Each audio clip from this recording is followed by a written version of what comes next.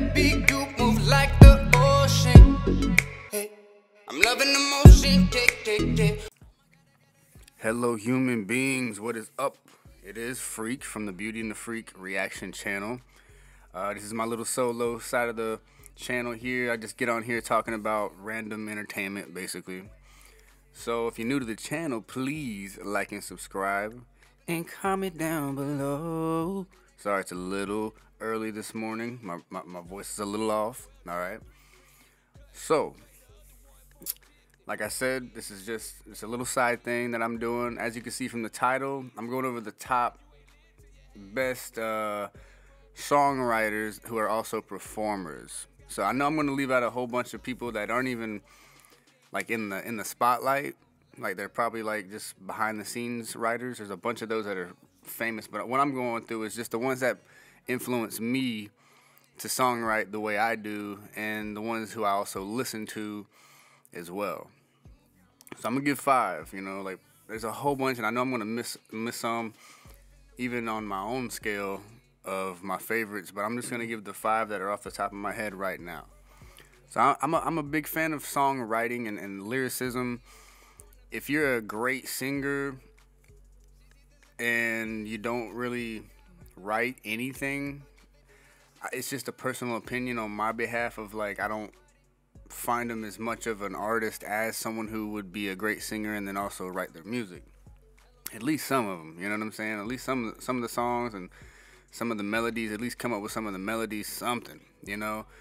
So probably right off the jump, I would have to go with uh, Ne-Yo, an R&B singer who's written a bunch of records for you know Beyonce, Rihanna.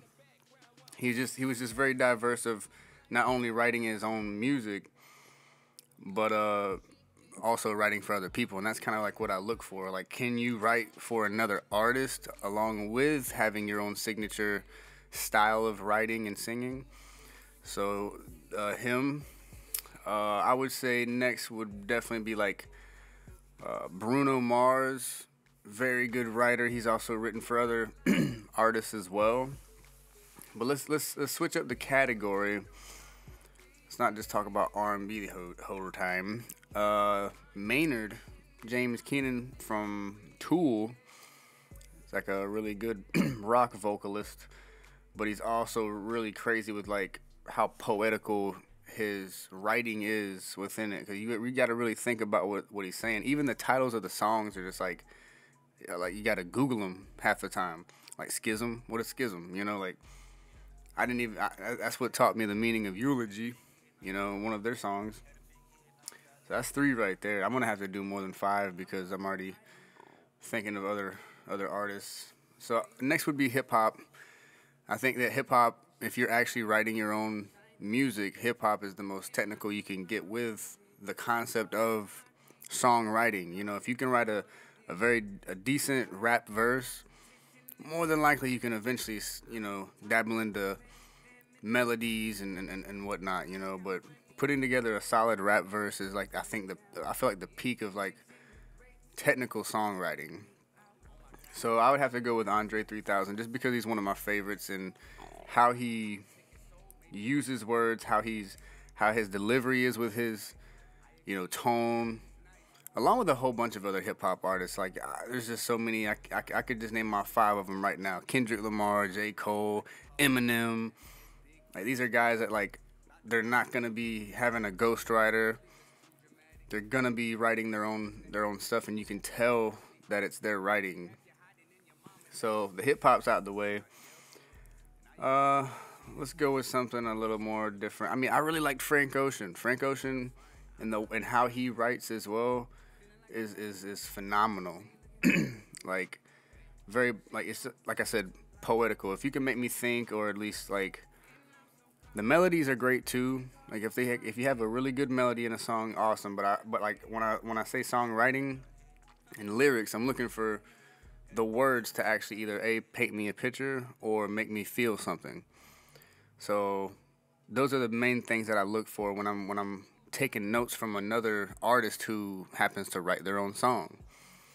Um, I already know I'm past five, so I'm gonna keep going. Mariah Carey here recently I didn't realize how much she wrote her own music. But I've been informed on this channel because we have a lot of Mariah Carey fans. Uh, getting me and my girlfriend to react to lots of Mariah Carey. I did not realize that she is a phenomenal writer and literally almost writes everything she puts out or has put out. Little did I know. You know, I thought that she might have wrote a few, but I didn't realize how much she actually was writing on her own, uh, based off of all the people in the comments that we see. But uh, yeah, that's that's a cool little fun fact, and you may you may not have know that known that either. Blah, blah, blah, Hate when I trip over my words, man. I gotta slow it down, bro. Slow it down.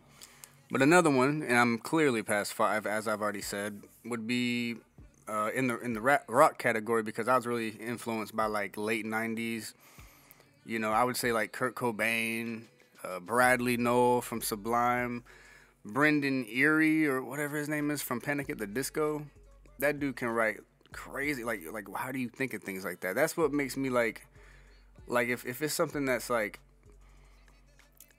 the words and the lyrics itself are something that like I'm uh, I'm over here itching my head about or thinking of like how did you like I wish I would have came up with that. You know what I'm saying? Like that's what makes me really respect the songwriter. The melody as well, that's the first thing that catches the ear. But I don't know, I think it's the the, the fact of afterwards does the lyrics itself make me think about something or, or paint a picture? Because anything that I've written, and you can go into my catalog as well. If I don't write it, I don't put it out. That's just the way I just the way I am as an artist. I don't feel as as accomplished if I take someone else's melody and and words and then do something with it, which I don't think is a bad idea for other artists, but just me myself, I don't I don't feel comfortable write uh, having someone else write something for me. But uh, yeah, so that's my few of my favorite songwriters. I know there's a huge amount from like the past, but this is just in my time, you know, like I'm 30 31 years old. This is just within my my time period of being alive and, and being influenced uh, on music. These are very new you know what I'm saying? Like I didn't really take much notes from like older older acts until I got a little older, like in my 20s. But yeah, I mean, I know that there's so many ones, so many great songwriters before the time period that I've given you guys. Because I think the the oldest one was probably dated back to the '80s, which was Tool. But uh, I know there's so many more, man. Like there's just y'all y'all give me a list of y'all's favorite songwriters in the comments, like I always ask. All right, and if you're new to the channel, please like and subscribe and comment down below and check my music out, all right? The reason I'm always talking about music and songwriting and all that, you know, is because I do music myself, all right? So please, go check it out, please. All right? Oh, and check out the merch too, guys. Like me and my girl, we have Beauty and the Freak merch on in the description. It's always up, for, always up there. You can support us by purchasing something. We'd greatly appreciate it. Y'all have a blessed day and be productive. His cash, maybe take his life, maybe take his soul, maybe I just gotta wake his ass up from a lovely way of life. I agree, yeah, your chain is nice, but was the chain really worth his life? I guess I'll never really know, it's fine. Flexing, thinking that he can't be touched. Sorry, buddy, I can call a bluff. Head big, brain small as fuck. About to pop it like a balloon and run. And maybe I'm really just too dramatic. Do too much, it's just a habit. And homie, I can really humble you and really have you hiding in your mama's attic. If I don't do it, somebody else will. And I agree, yeah, the chain is nice. But was the chain really worth your life? Guess we'll never really know, it's fine. I'm vibing on the island, feeling like a pilot. They ain't looking at my necklace. Hey, shades on cause the shit too blinded. I'm shining. And I'm so confident. They call it cocky, but I call it confidence. Yeah. Had a big head, now you got a little head. I call it confidence. Had a big head, now you got a little head.